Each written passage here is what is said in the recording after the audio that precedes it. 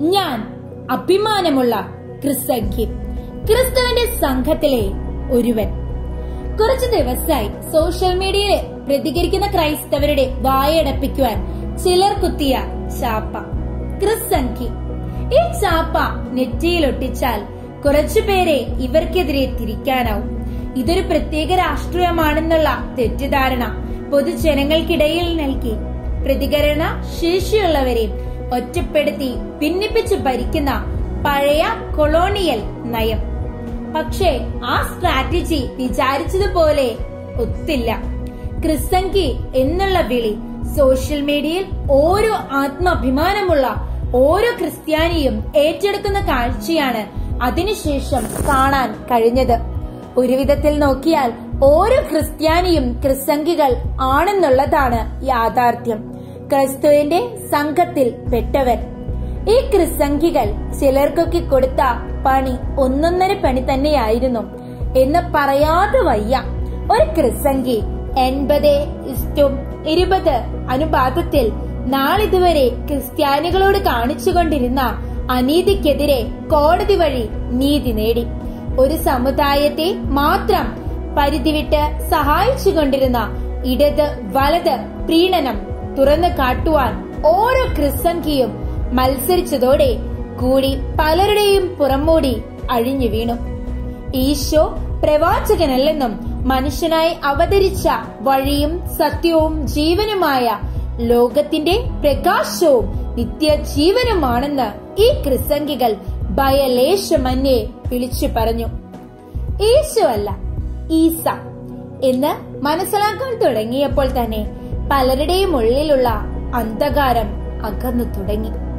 ഈശോയെ ഈസായാക്കി കാട്ടി തെറ്റിദ്ധരിപ്പിക്കുകയും കുഞ്ഞു പെൺകുഞ്ഞുങ്ങളുടെ ഉള്ളിൽ നിങ്ങളുടെ മറിയം നിങ്ങളുടെ ബൈബിളിൽ ഉള്ളതിൽ കൂടുതൽ ഞങ്ങളുടെ ഗ്രന്ഥത്തിലുണ്ടെന്ന പ്രചരണം ഈ ക്രിസംഗികൾ പൊളിച്ചു കൊടുത്തു. എന്ന് വേണ്ട മതത്തിന്റെയും രാഷ്ട്രീയത്തിന്റെയും പ്രവാചകർ ഈ ക്രിസംഗികൾ കൊണ്ട് പൊറുതിമുട്ടി സമാധാനവും സഹിഷ്ണുതയും കാരുണ്യത്തിലും സഹോദര്യത്തിലും മുൻപന്തിയിലുണ്ടായിരുന്ന ക്രിസ്ത്യൻ യുവതലമുറ അതേ പാതയിൽ നിന്നുകൊണ്ട് തന്നെ വിശ്വാസത്തിന്റെ കാര്യത്തിൽ ഈശോയുടെ തീക്ഷ്ണത കാണിച്ചപ്പോൾ പലർക്കും കുരുപൊട്ടി തുടങ്ങി. വലത് കരണത്തടിക്കുന്നവനെ ഇടത് കരണം കൂടി കാണിച്ചു കൊടുക്കണമെന്ന ആ മാതൃക കുരിശു മരണത്തിലൂടെ സ്വജീവിതത്തിൽ പ്രാവർത്തികമാക്കി കാട്ടി. തരുകയും അതേസമയം തന്റെ പിതാവിന്റെ ഭവനത്തിലെ കച്ചവടക്കാർക്കെതിരെ ചാട്ടവാർ എടുക്കുകയും ചെയ്തത്. ദൈവത്തോടുള്ള വിശ്വസ്തത നിലനിർത്തുകയെന്നതും വിശ്വാസത്തിൽ വെള്ളം കലർത്തുകയും ചെയ്യുന്നവർക്കെതിരെയുള്ള താക്കീത് തന്നെയാണ്. ഈശോ പന്ത്രണ്ട് ശിഷ്യന്മാരിൽ തീവ്രവാദിയായ ഷിമയോനും ഉണ്ടായിരുന്നു. യേശുവിനോട് ചേർന്നപ്പോൾ ഷിമയോൻ വാളെടുക്കുക അല്ല ചെയ്തത്. വചനമാകുന്ന പടവാളുമായി സുവിശേഷ വയലിൽ വേല ചെയ്യുകയും അവസാനം രക്തസാക്ഷിത്വം വരിക്കുകയുമാണ് ചെയ്തത്. ദൈവവചനത്തെ ഉപദ്രവിക്കാൻ കരാർ വാങ്ങി പുറപ്പെട്ട സാവോളിനെയും ദൈവം തന്റെ സവിശേഷം വിജാതികർക്കിടയിൽ പ്രഘോഷിക്കുവാനാണ് തിരഞ്ഞെടുത്തത്. ഇവരൊക്കെ ദൈവവചനം പ്രഘോഷിച്ചപ്പോൾ കിട്ടിയതും പൂമെത്ത ആയിരുന്നില്ല. കുരിശുമരണവും ശിരസ്ഛേദവും ഉൾപ്പെടെയുള്ള അതിക്രൂരമായ മരണത്തിലൂടെയാണ് ഓരോരുത്തരും കടന്നുപോയത്. നിരവധി അപമാനങ്ങളും അവഹേളനങ്ങളും ഇവർ നേരിട്ടു. എങ്കിലും ഇവർ പിന്മാറുകയല്ല. കൂടുതൽ തീക്ഷ്ണതയോടെ കുരിശിൽ മരിച്ച് ഉയർത്തെഴുന്നേറ്റ ക്രിസ്തുവിനെ പ്രഘോഷിച്ച് കൊണ്ടിരിക്കുകയായിരുന്നു. പലർക്കും തങ്ങളുടെ മരണം എപ്രകാരമായിരിക്കുമെന്ന് യേശു ക്രിസ്തു വെളിപ്പെടുത്തി കൊടുത്തിരുന്നു. എങ്കിലും അവരാരും പിന്മാറിയില്ല. അതാണ് ഓരോ ക്രൈസ്തവന്റെയും വിളിയും കടമയും. ഇന്ന് നമ്മൾ ഓരോരുത്തരെയും ദൈവം വിളിച്ചിരിക്കുന്നത് ദൈവവചന പ്രഘോഷണത്തിന് തന്നെയാണ്. സോഷ്യൽ മീഡിയയിൽ നുണകളും അവഹേളനങ്ങളും തുടർക്കഥയായപ്പോൾ ദൈവം തിരഞ്ഞെടുത്ത ചിലരിലൂടെ നാഥന്റെ പ്രവാചകന്റെ ധൈര്യത്തോടെ ആ മനുഷ്യൻ നീ തന്നെയാണെന്ന് ചൂണ്ടിക്കാട്ടാലും അണലി സന്തതികളെ എന്ന് വിളിച്ച സ്നാപകന്റെ തീക്ഷ്ണതയും കൈമുതലാക്കി സത്യം കൊണ്ട് അരമുറുക്കി നീതിയുടെ കവചം ധരിച്ച് സമാധാനത്തിന്റെ സുവിശേഷത്തിനുള്ള ഒരുക്കമാക്കുന്ന പാദരക്ഷകൾ ധരിച്ചുകൊണ്ട് വിശ്വാസത്തിന്റെ പരിചയെടുത്തും രക്ഷയുടെ പടത്തുപ്പി അണിയുകയും ദൈവവചനമാക്കുന്ന ആത്മാവിന്റെ വാളെടുക്കുകയും ചെയ്തുകൊണ്ട് സത്യത്തെ സാക്ഷ്യം നൽകുമ്പോൾ വേദനിക്കുന്നതും വിറയ്ക്കുന്നതും സാത്താനും അവന്റെ സൈന്യവും ആണ്.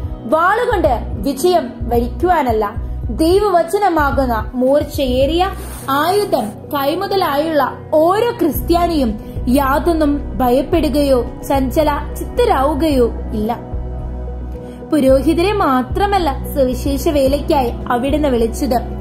ആയിരിക്കുന്ന അവസ്ഥയിൽ ഇരുന്നു കൊണ്ട് തന്നെ വചനം പ്രഘോഷിക്കുവാനും അസത്യത്തെ തുറന്നു കാട്ടുവാനുമുള്ള വിളി ഓരോ ക്രൈസ്തവനുമുണ്ട്.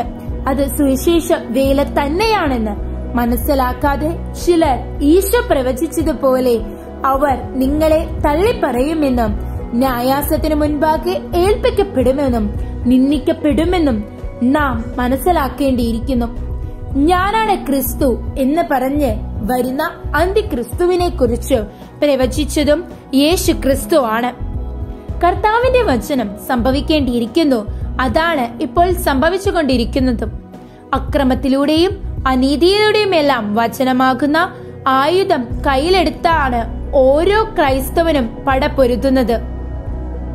ഇത്രയും നാൾ നമ്മളെ വിളിച്ചുകൊണ്ടിരുന്ന കുരിശ് കൃഷിക്കാർ കുരിശോളികൾ കുഞ്ഞാടുകൾ ഇപ്പോൾ ക്രിസംഗികൾ എന്നും.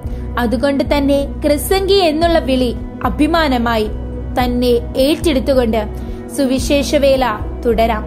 അങ്ങേ ദൂരെയുള്ള സ്ഥലങ്ങളിൽ പോയി ചെയ്യുന്നത് മാത്രമാണ് സുവിശേഷ വേലയെന്ന് തെറ്റിദ്ധരിച്ചു വെച്ചിരിക്കുന്ന മതേതര ക്രിസ്ത്യാനികളോട് പറയട്ടെ.